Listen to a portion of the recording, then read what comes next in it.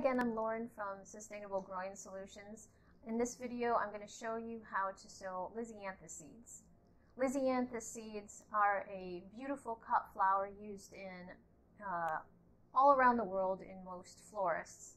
Um, it's not the easiest uh, plant or flower to grow, um, and it's not easy to grow from seed. You have to really baby it and make sure you don't water it very um, or too much because they can rot. Um, and you also need to sow the seeds early in the season.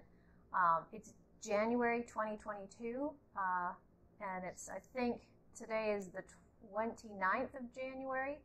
Um, so we're getting cl- close to the end of the month. Uh, I should have I should have sown them earlier in the month, but I think I'll still be okay, and I'll get a good amount of flowers uh, this season. Um, so okay, so so what we're what we're gonna do, or what I'm gonna do, um, I've I've bought a um, a seed mix. This is a sterile, soilless, doesn't have any soil, it doesn't have any compost in it, um, mix um, made specifically for seeds, and it's it's very good for fine seeds. This stuff doesn't have a lot of big uh, bits in it or or anything. It's it's it's very fine. It's got perlite in there for drainage, um, and drainage is important for Lisianthus seeds because they are very susceptible to rot uh, if if it if the there's too much water left in the in the the growing medium.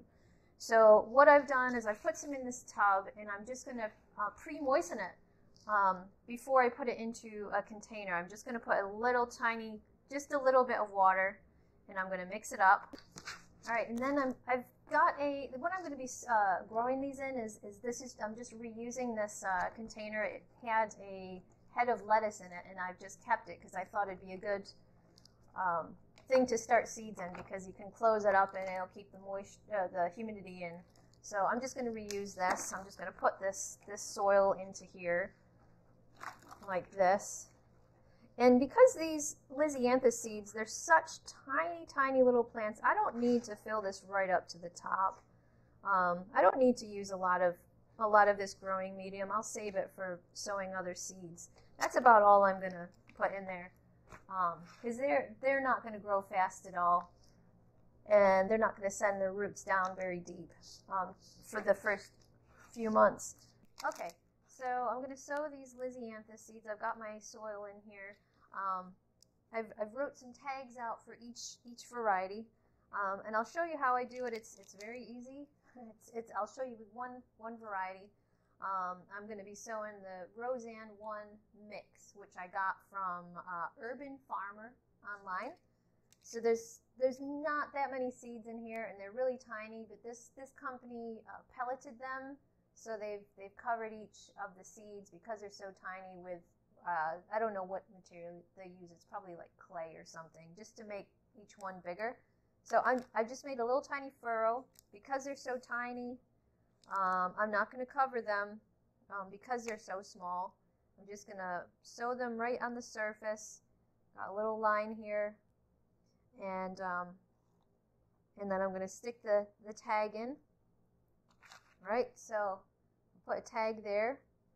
I'll just, um, I'm not covering them. I'm just sort of like pushing them very, very lightly into the surface.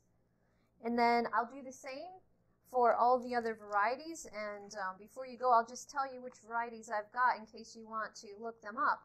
Uh, there's another variety here called Rosanne 1 Black from Urban Farmer.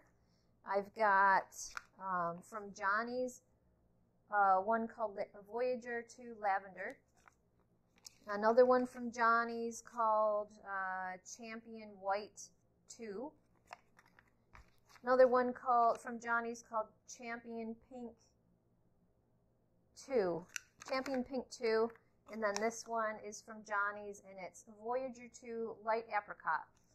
So maybe you want to go and look those up.